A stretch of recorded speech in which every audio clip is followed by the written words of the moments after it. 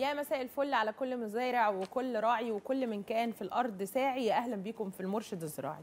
بنتكلم النهارده على موضوع من أهم الموضوعات الزراعية عموما ومن أهم الملفات اللي بنتناقش فيها وهو الآفات الزراعية. مش بس كده هنتكلم عن الآفات الزراعية أو مكافحة الآفات الزراعية الخاصة بأهم أربع محاصيل أو الأربعة محاصيل الاستراتيجية الأولى أو من أهم المحاصيل الاستراتيجية عموما في مصر. إحنا عارفين إنه الآفات الزراعية أحد أهم مسببات خسارة الفلاح وخسارة الاقتصاد الزراعي.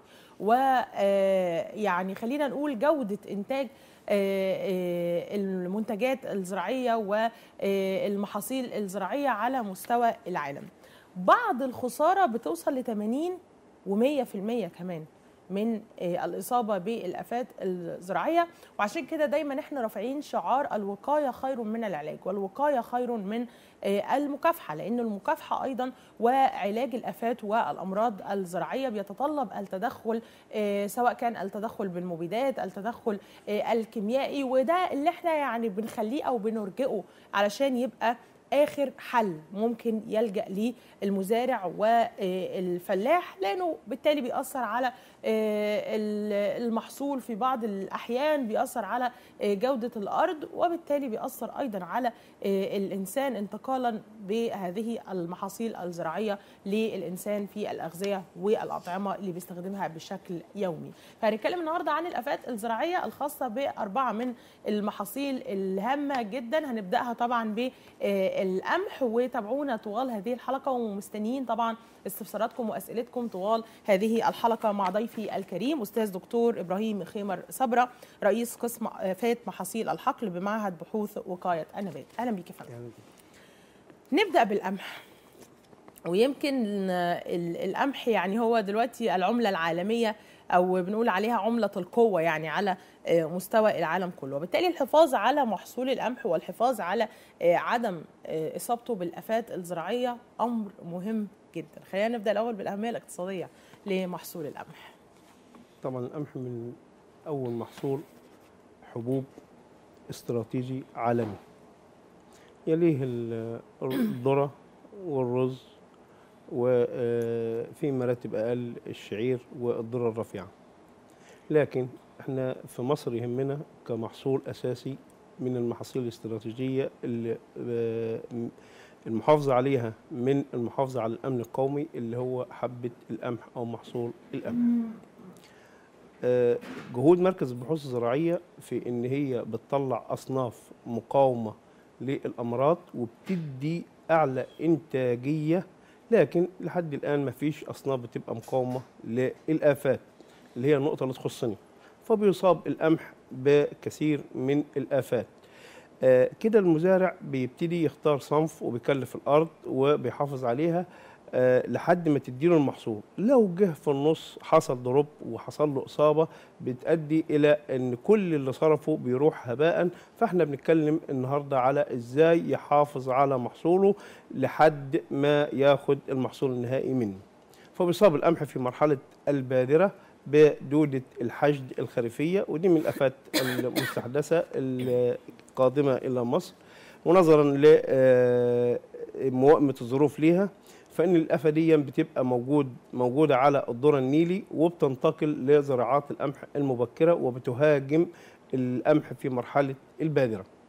ومن حسن الحظ إن هذه الآفة ما في درجات الحرارة المنخفضة لا تصيب القمح أو بتصيبه لكن بدرجة قليلة جدا بحيث إن مدة الجيل بتبقى كبيرة جدا. بالإضافة إن القمح أما ربنا الحشر عليه بيبقى عائل غير ملائم وبيدي تعداد أقل والحشره ما تقدرش تكمل دورة حياتها عليه.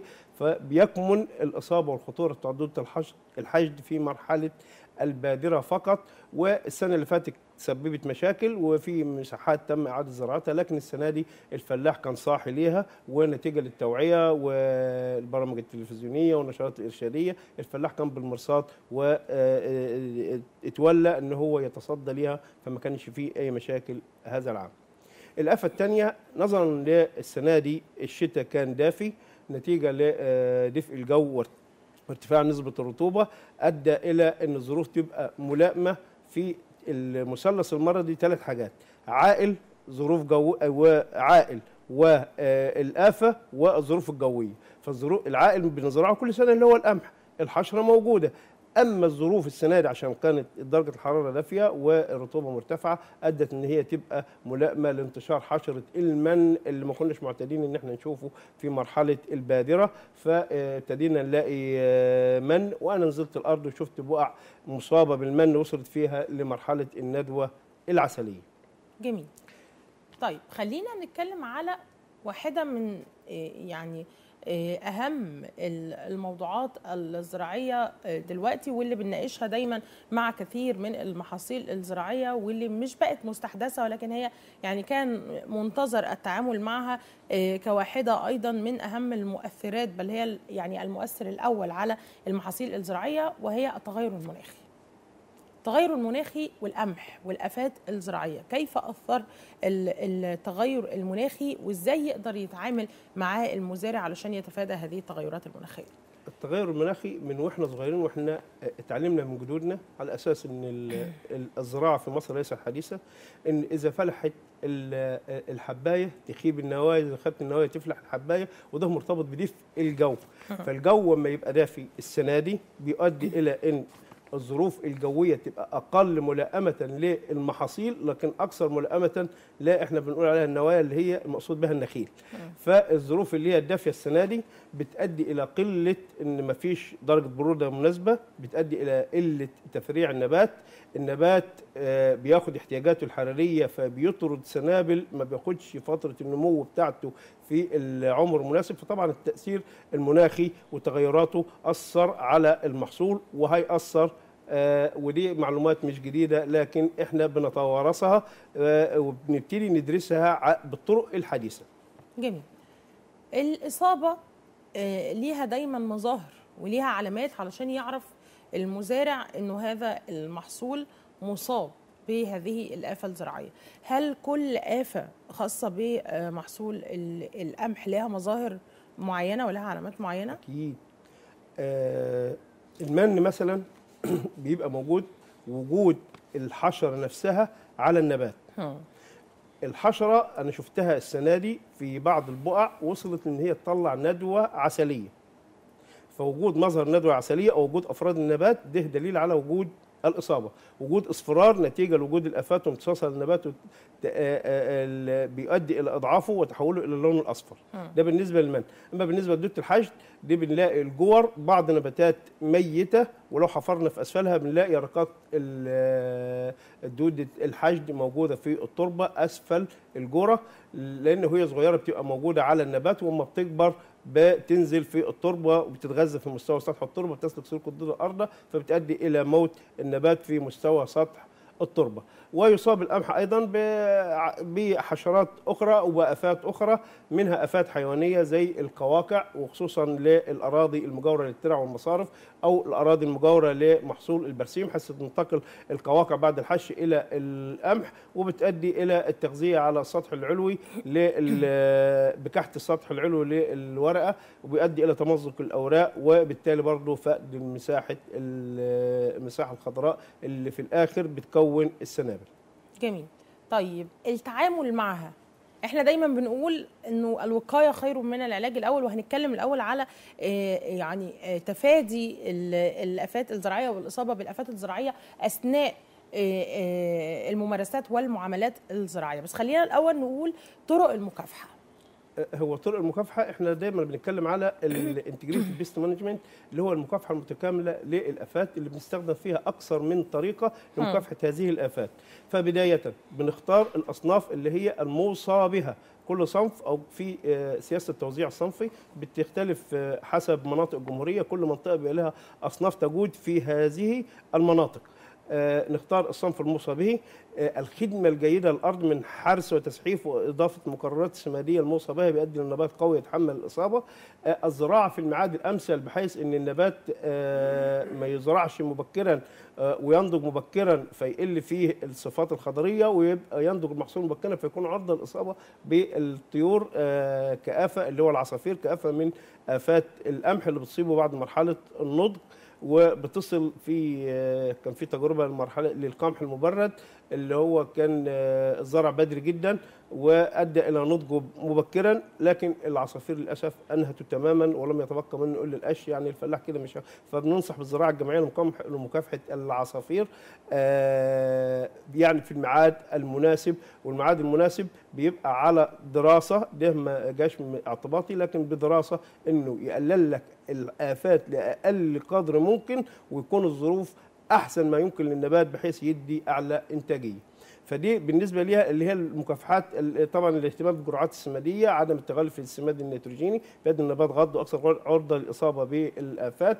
آه، إضافة السماد البوتاسي بيخلي النبات يبقى آه، أكثر صلابة وأكثر مقاومة للافات آه، إذا ظهرت الإصابة بعد اتباع هذه الإجراءات في ال- كان في صورة أنا عارضها لحشر لحيوان أبو أردان كعدو من الأعداء الأحيائية اللي بيصي اللي بيقوم بتنقية يرقات دودة الحشد الموجودة في التربة وبيقضي عليها تماما دون اللجوء إلى المكافحة.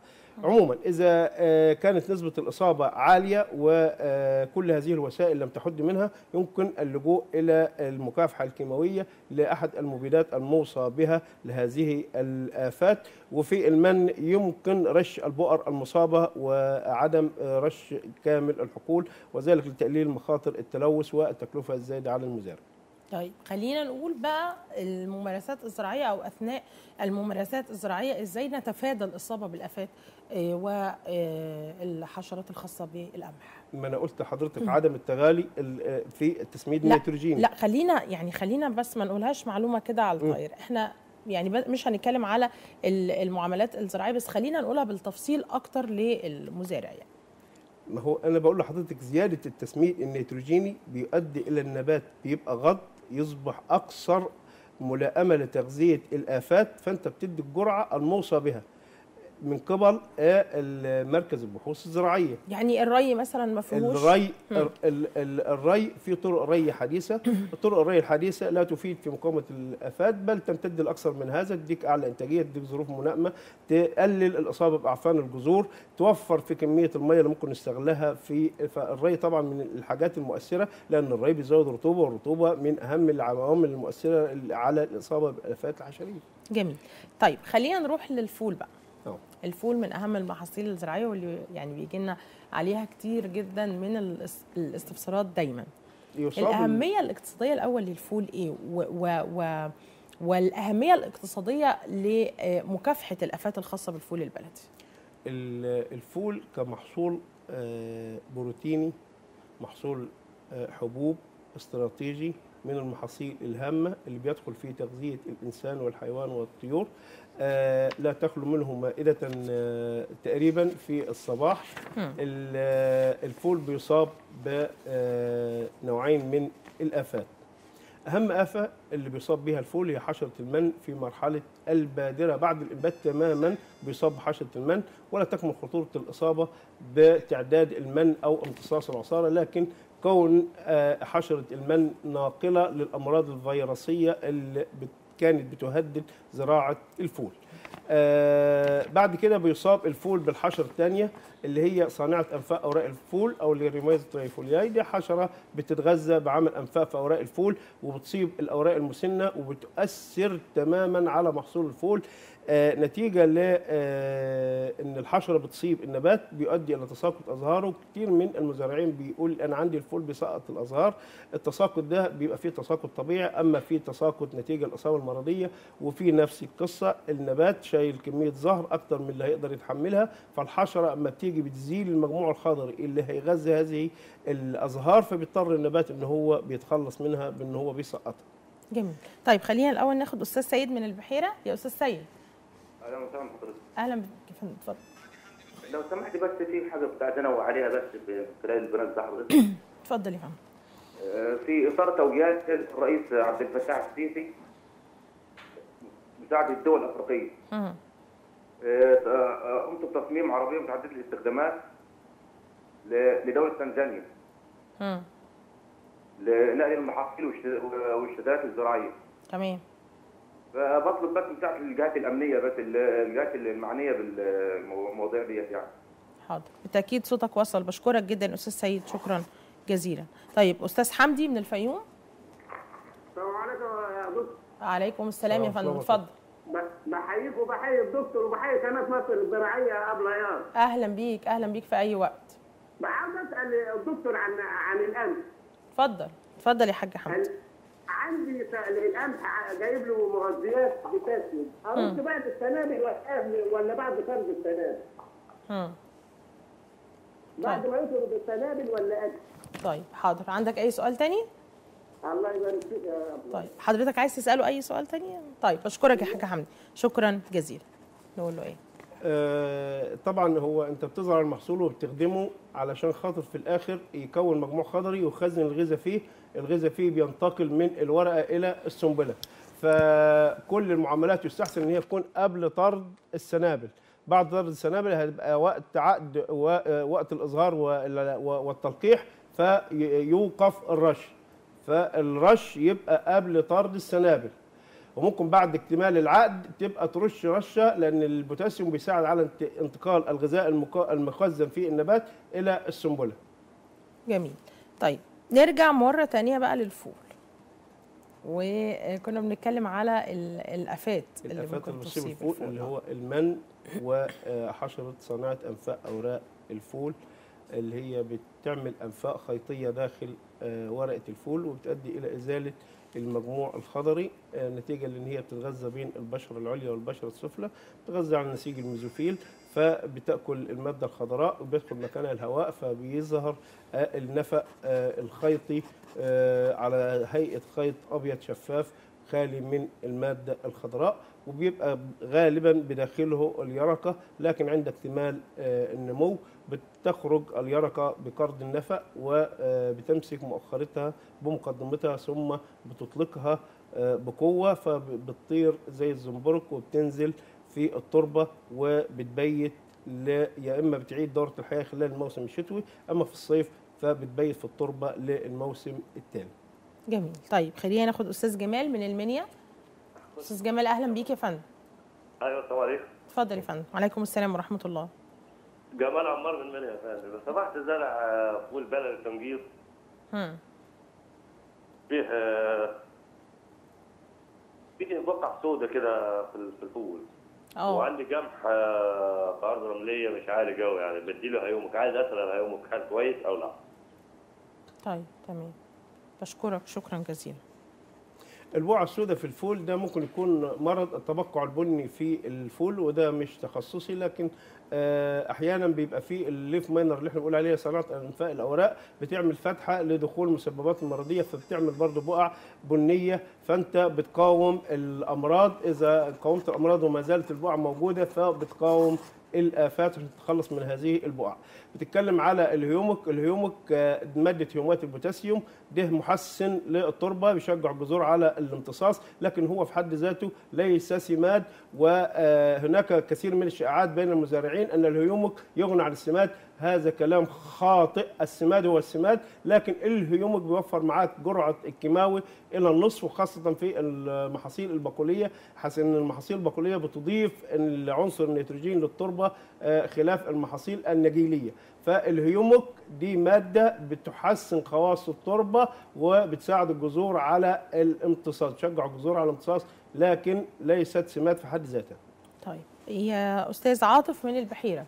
أستاذ عاطف أهلا بيك يا فندم. أهلا بيك يا فندم. اتفضل تحت أمرك.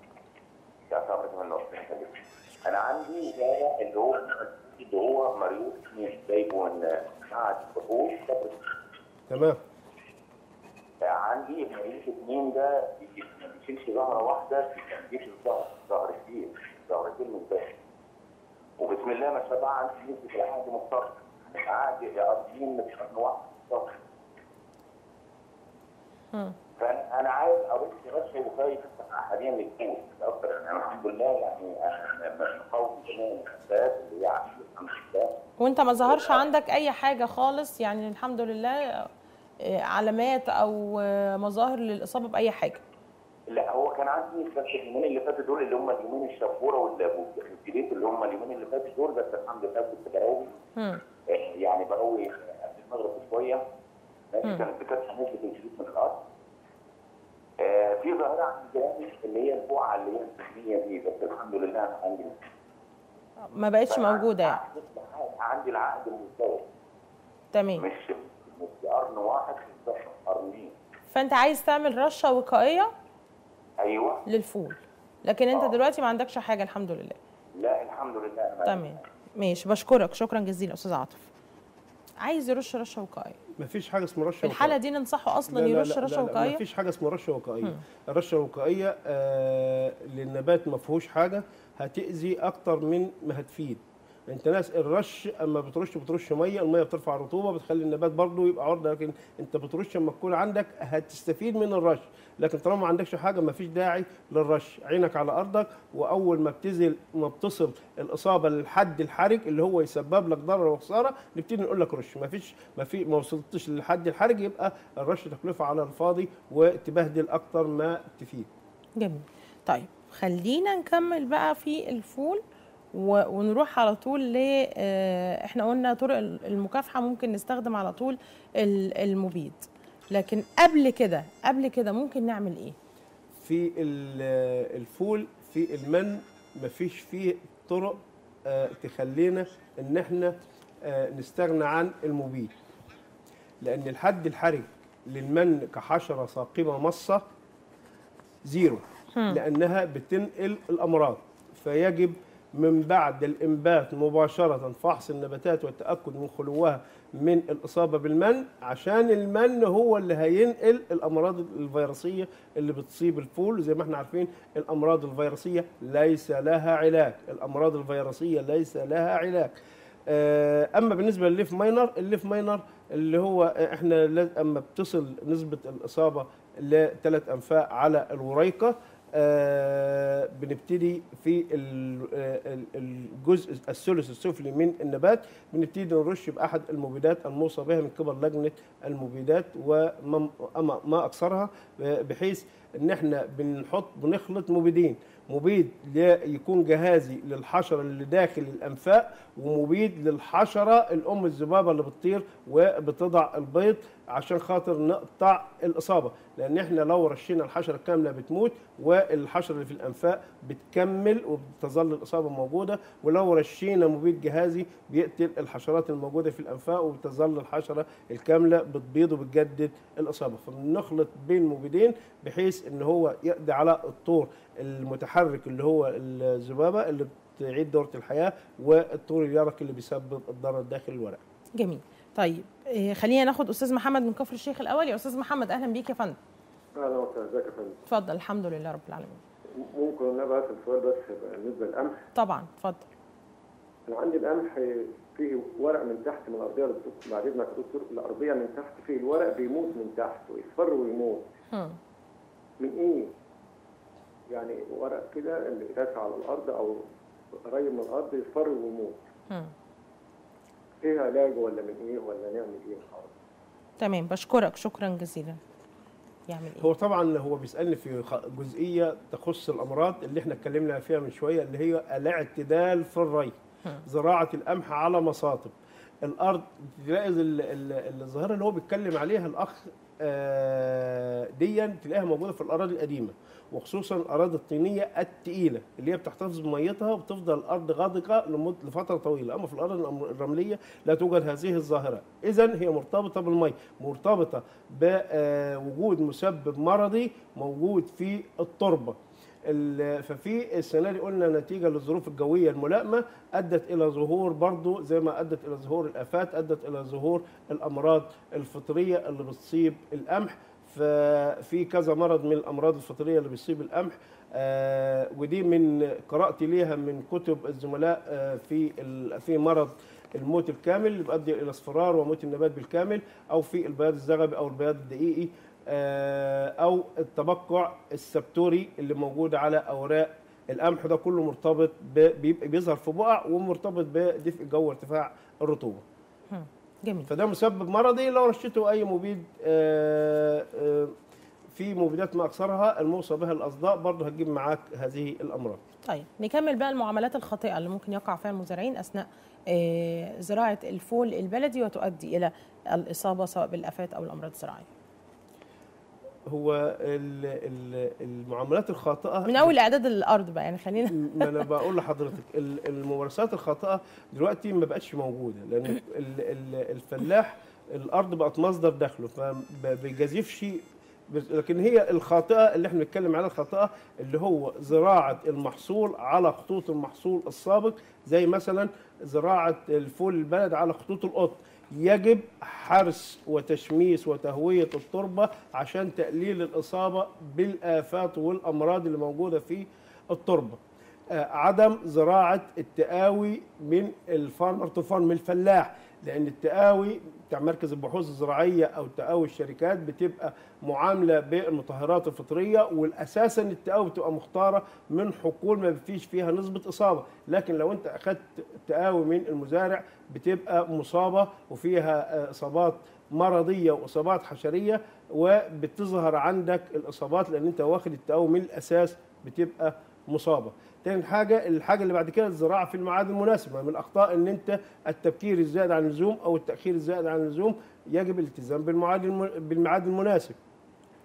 الحاجة اللي بعد كده عدم المغالاه في الري زيادة الري أو قلته ده بيأثر على الظروف الجوية المحيطة بالنبات وبتخليه يا أكثر عرضة للإصابة بالآفات يا بيبقى أكثر عرضة للإصابة بالأمراض. جميل. طيب خلينا ناخد أستاذ سعيد من البحيرة. أستاذ سعيد أهلا بيك يا فندم. أهلا وسهلا. فندم اتفضل تحت أمرك. لو سمحت أنا عايز أتكلم على برنامج الري بتاع الثوم.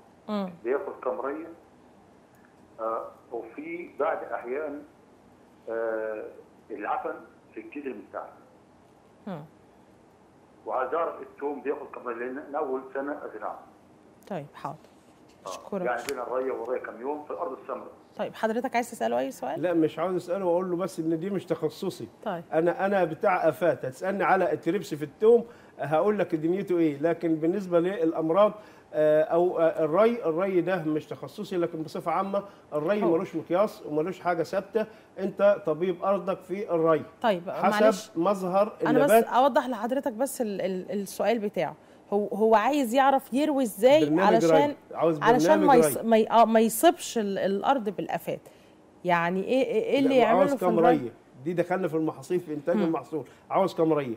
ال- الري بيبقى على حسب آه، المنطقة اللي أنت فيها طبيعة الأرض اللي أنت فيها آه، مدى توفر مصدر ال- الري عندك.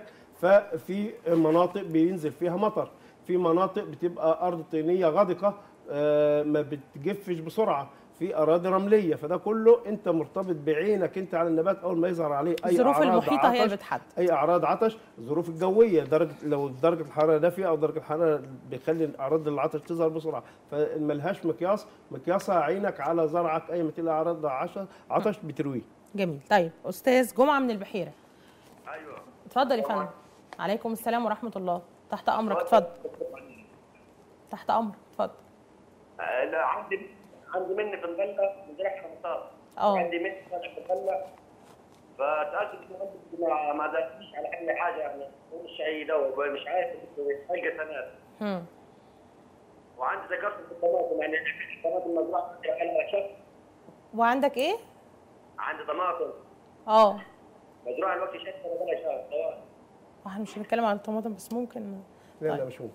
طيب مش ممكن؟ إحنا في المحاصيل الاستراتيجية. طيب. طيب ال- ال- المن طب نرد عليه من المن آه طبعا. طيب من في إيه؟ أشكرك يا حاج جمعة شكرا. من في بنجر المن فين يا حاج جمعة؟ أنا من البحيرة. فين فين؟ المن ظهر لك في محصول إيه؟ في الغلة. طيب الغلة. تمام ماشي. بشكرك شكرا آه. جزيلا. آه. ال- إحنا قلنا ال- بتترش البقع المصابة حسب آه، آه، بأحد المبيدات الموصى به من قبل الوزارة. ففي مبيد ال- ماده الاسيتامبريد 20% بتترش بمعدل آه، 50 جرام للفدان وممكن قلنا بتخلط معاها مبيد زي مبيد المارسون 57% بتجيب معاك نتيجة كويسة آه، اللي انت بتدي جهازي ل- آه، يجيب الآفات اللي هي مختبئة داخل القلب اللي انت مش هيصلها المبيد يلامسها لكن اللي بتبقى ظاهرة وبيلامسها مبيد الملاسون فهيقلل معاك التعداد بصفة آه، ويديك نسبة مكافحة نسبة إبادة عالية. جميل. خلينا ندخل على البرسيم بقى علشان آه. نلحق نخلصه قبل ما ننهي الحلقة. آه.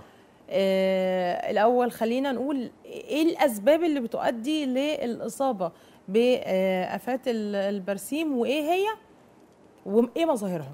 الأسباب اللي بتؤدي للاصابه الإصابة بآفات البرسيم تكرار زراعة البرسيم في نفس البقعه اللي إحنا بنقول عدم اتباع الدورة الزراعية في آه، زراعة المحاصيل وتغيير الأرض. فنتيجة لتكرار زراعة ال- المحصول في نفس البقعة بيؤدي إلى إن آه، زيادة المسببات الحشرية اللي موجودة في التربة بتبقى موجودة وبتنمو في الصيف وبتيجي في الشتاء بتخرج في شهر 12 وبتصيب النبات وبتعيد دورة حياتها. طيب لو إحنا ما قررناش زراعة في هذه الآفات هيحصل لها تجويع ستارفيشن فمش هتلاقي العائل بتاعها فهيبتدي يقل تعدادها. فهو أول ممارسة خطأ اللي هو تكرار زراعة البرسيم في نفس البقعة كل عام. ال- الحاجة الثانية اللي هو في تحميل الذرة في ناس ظاهرة إن كل المزارعين متعودين إن هم بيحملوا آه، بعض أعواد من الذرة داخل زراعة البرسيم ودي من الممارسات الخاطئة اللي بتؤدي إلى زيادة الإصابة بدودة الحشد لأن الذرة آه، بتبقى جاذبة لدودة الحشد واللي بتتغذى عليها وعلى يرق وعلى بادرات البرسيم في مراحل نموه الأولى. آه، في ناس بتزرع تحميل البرسيم على الذره الشامي النيل النيلي لكن الظاهرة دي طبعا الذره النيلي ما نتيجة لوجود دوره الحج دلوقتي ما بقاش بتزرع قليل آه، الزراعة النيلي فهو إحنا بنقول الممارسات الخاطئة اللي هو تكرار الزراعة وزراعة الذرة داخل البرسيم. طيب خلينا نقول بقى البصل بالمرة لسه معانا وقت. ال- ال- البصل. يصاب البصل الآفة الأساسية في البصل الحشرية اللي هي آه، تربس البصل. تربس البصل حشرة ذات أجزاء فم خالي شماص أجزاء فمها آه، زي المبرد. بتكحت السطح آه، البشرة بتاع الورقة بيسيل منها الأنسجة المتهتكة وعصير النبات. بتبتدي تمتصه بأجزاء الفم المصة. آه، الحشرة دي صعبة في المكافحة لأنها بتوجد مختبئة داخل أوراق القلب الملتفة فإذا استخدمنا مبيد رش بالملامسة ما لمسهاش ما بتمشي بالإضافة لأنها بعد الرش مباشرة بتنتقل بالريح من عند الجار اللي ما قامش بعملية المكافحة بالإضافة لأن في طور من أطوار الحشرة موجود في التربة حتى لو كافحنا كويس وموتنا كل الأطوار الموجودة على النبات بعدها الأطوار الموجودة في التربة اللي هي طور ما قبل العذراء تحول الحشرة كاملة وتعيد دورة وتعود الإصابة فدي من الآفات الغلسة اللي يجب الرش الدوري لها على الأقل كل 10 أيام. أما يصل تعداد التربس ل 10 أفراد للنبات. بشكرك جدا. حلقة مميزة وحاولنا يعني نتكلم عن أربعة من أهم المحاصيل الاستراتيجية والآفات الزراعية الخاصة بها وطرق المكافحة. بشكرك جدا جدا أستاذ دكتور إبراهيم مخيمر صبرة رئيس قسم آفات محاصيل الحقل بمعهد بحوث وقاية النباتات نورتنا وشرفتنا يا فندم. شكرا. شكرا جزيلا. والشكر دائما وابدا موصول لحضراتكم على حسن المتابعة. أشوفكم بكرة وأشوفكم دايما في المرشد الزراعي. بخير وأمان وسلام وسلام.